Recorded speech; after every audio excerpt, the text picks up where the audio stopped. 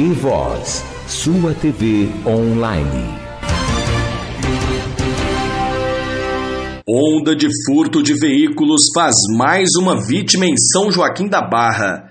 Dessa vez, os meliantes levaram uma caminhonete Hilux.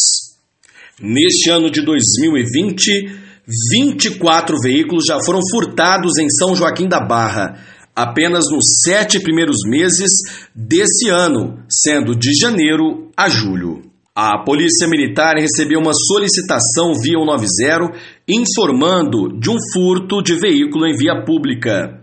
Segundo a denúncia, uma Toyota Hilux prata, ano 2016-2017, havia sido furtada. O proprietário havia estacionado a mesma na rua Piratininga, próximo ao cruzamento com a rua Voluntário Geraldo.